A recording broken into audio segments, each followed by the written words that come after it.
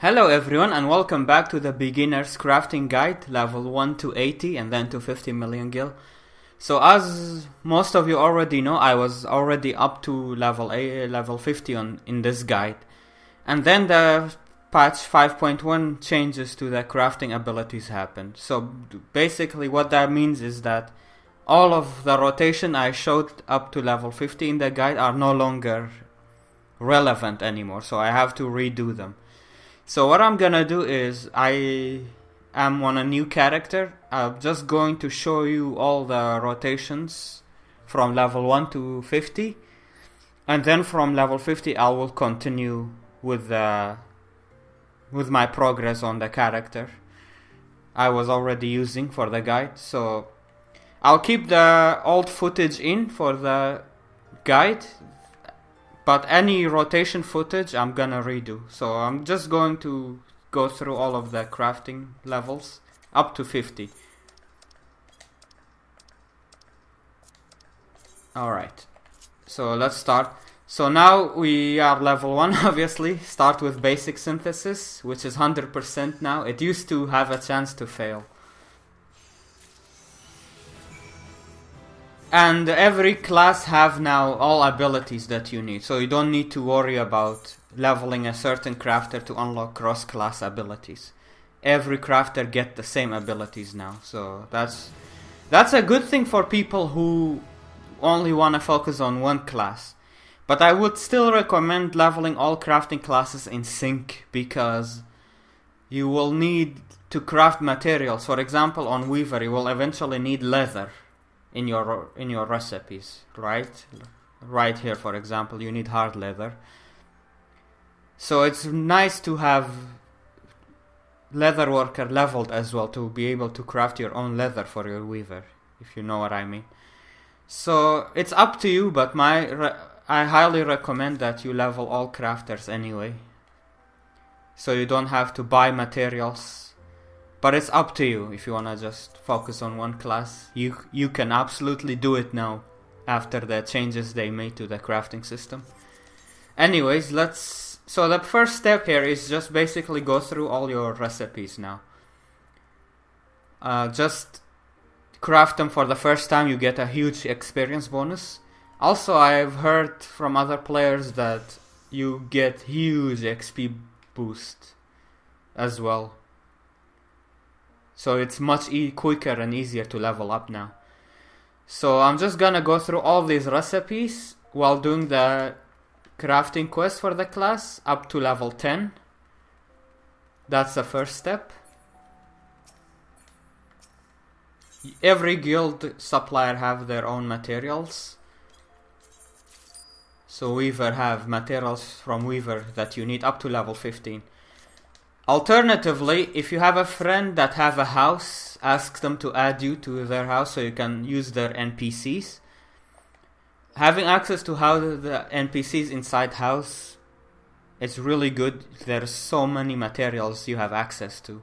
So you don't have to even be in the guild itself. So if you have a friend or if your FC have a house already, that is also great. If you don't have a FC, feel free to join our FC. We have one in Cerberus server and one in Light. So if you're a new character in those servers, you can feel free to join us.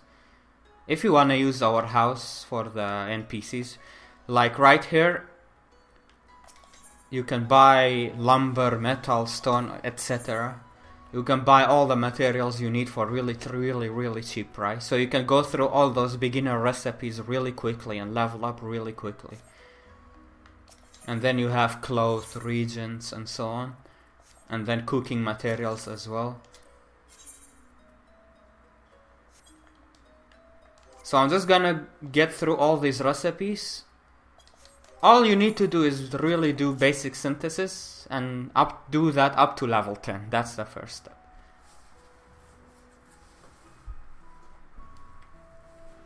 Alright, just hit level 10. Be sure to keep updated with your class quest and try to always update your gear as you level up as well.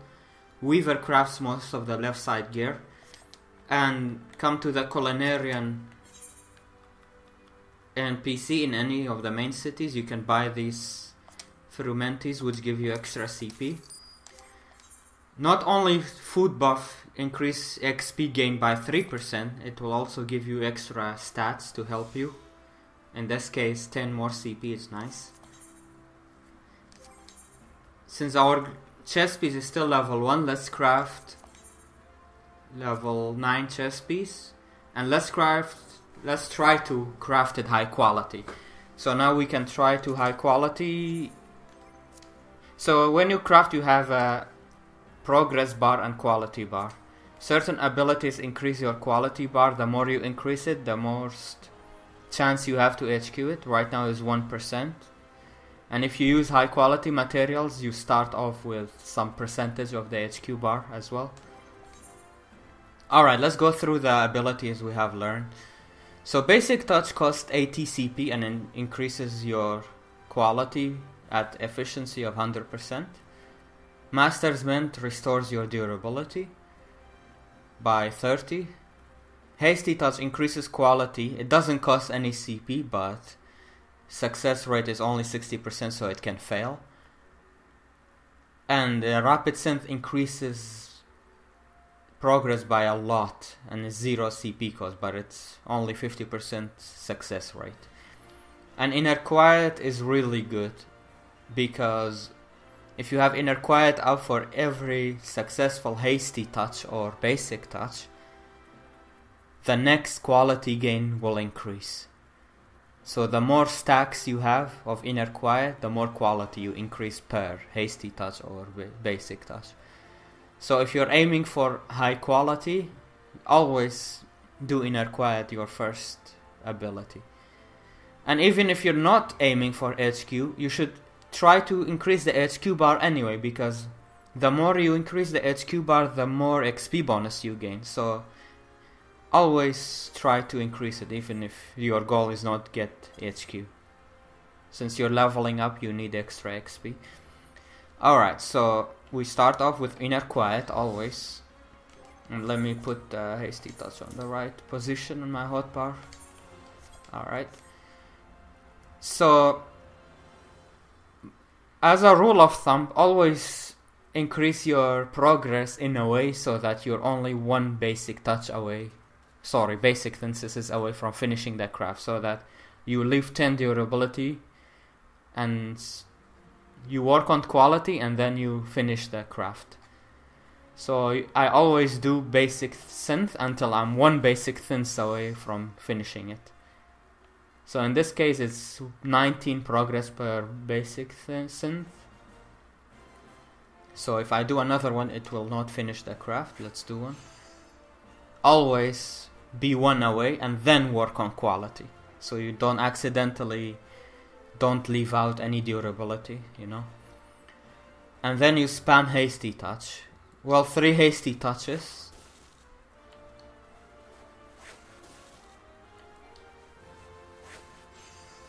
It's only 60% rate, as you know. And then you use Master's Mend to restore durability. And now we have enough CP left to do basic touches. Basic touch is like hasty touch, but 100% success rate.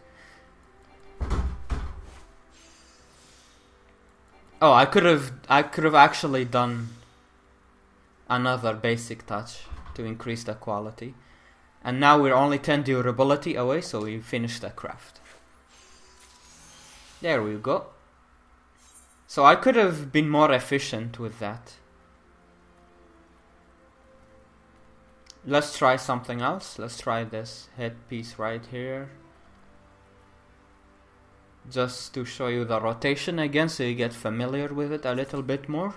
So always inner quiet first. And then be one synth away from finishing the craft. So you don't forget. Alright, and then we work on quality now. So last time we did three hasty touches, right? But I, we found out that we could have done two hasty touch and four basic touch instead. So we do two hasty touches and then four. Well, do one basic, then do Master's Mend to restore the durability, and then we do three basic touches.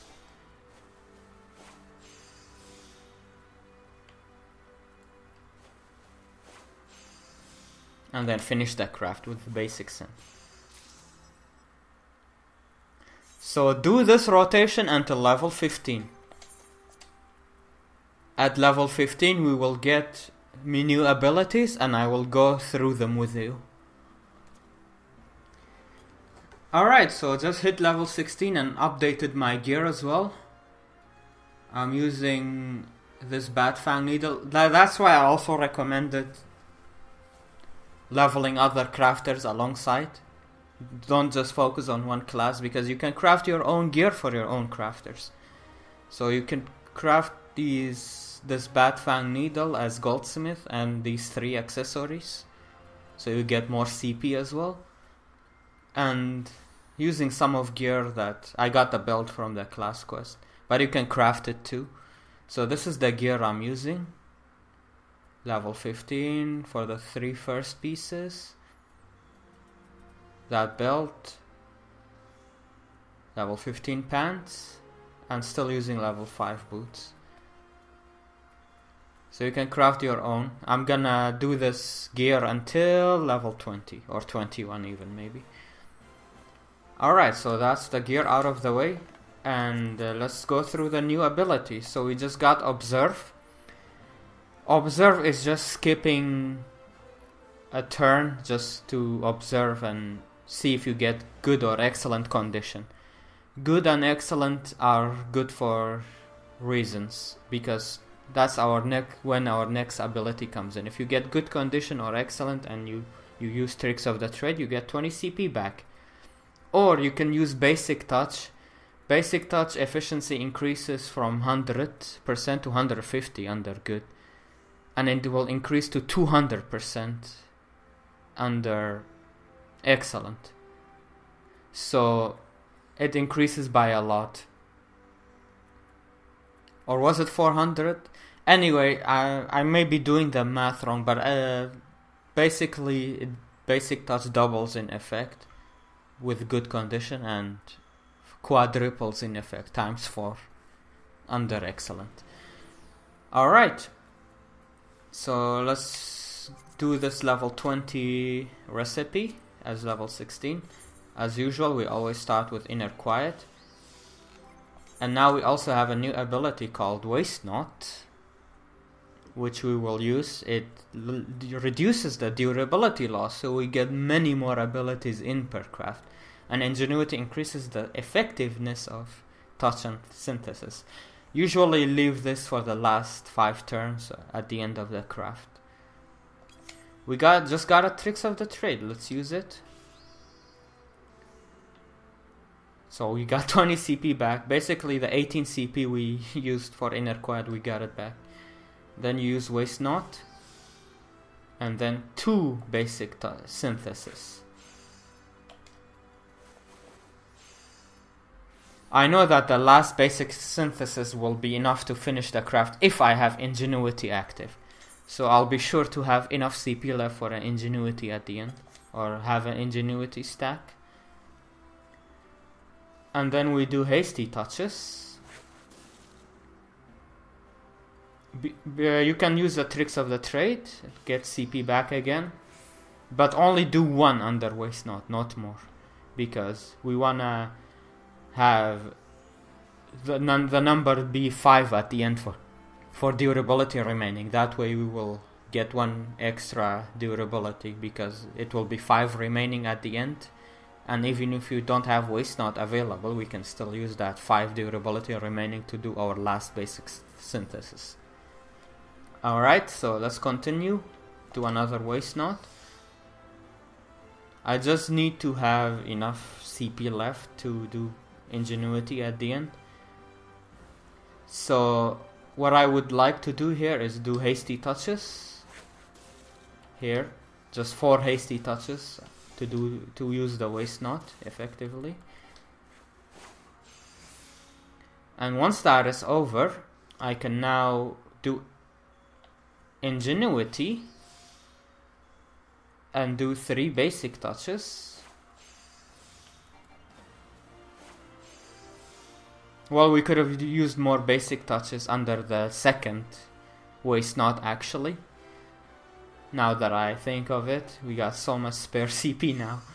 Anyways, so now I know that it will finish the craft, the last basic synthesis. We had 72 CP to spare and we high quality the item. So let's do it better next time. So inner quiet. Now, I, uh, granted, I got lucky with the tricks of the trade. That's why I also have that much CP remaining. But I should use it better. Waste not. Two basic synthesis. We got good condition. We can use one of them to tricks of the trade. Well, if you get multiple good connections, good conditions, sorry, we can use basic touch to get even more quality. If it's good condition and you want to use a touch, be sure it's basic touch if you have CP, so you get you guaranteed the touch hits under that good condition or excellent. Alright. Let's refresh waste not. We got good condition. Let's use one basic touch.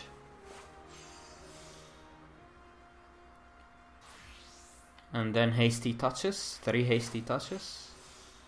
Well we got another good condition so we can do basic touch instead of hasty so we get more quality.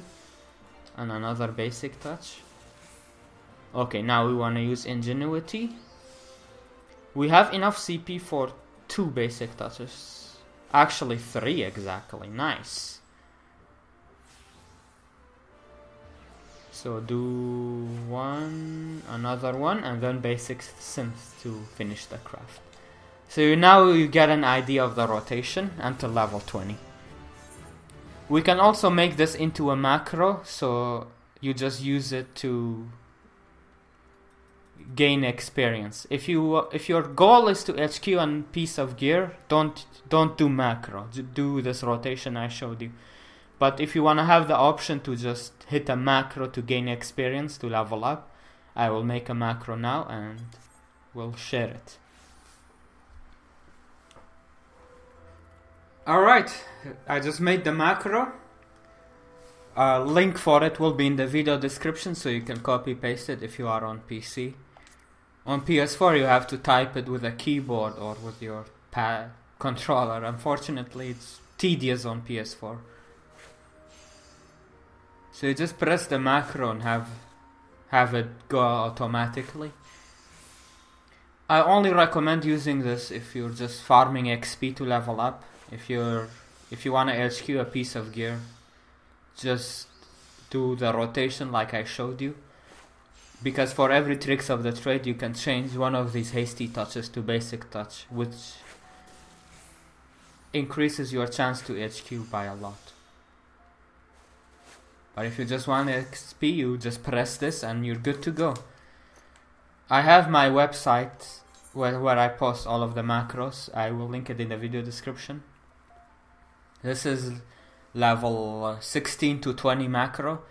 So you can start using this as soon as you hit 60, for as long as you have this craftsmanship and control, and at least 226 CP. So just be sure to have these three accessories crafted for yourself have the level 15 offhand you get from the level 15 class quest.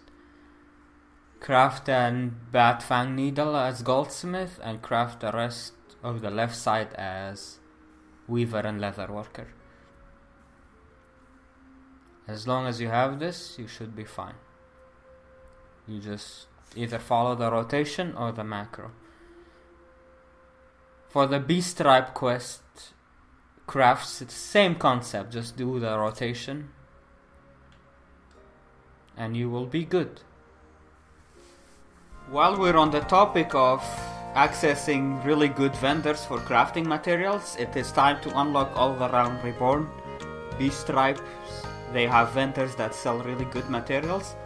But that's gonna wait for the next part and we're also going to unlock the Ixal beast tribe which is the crafting beast tribe gives you insane amount of experience to level your crafters. So anyway, I hope you found this helpful. If you did, please like, favorite, subscribe, and share the video. And if you wanna support even more, you can do that on my Twitch or Patreon. Patreons will have early access to these videos. I will release it to them like one week prior I make them publish just to say thanks. Appreciate all the support and I'll see you in the next one. Take care. Bye bye.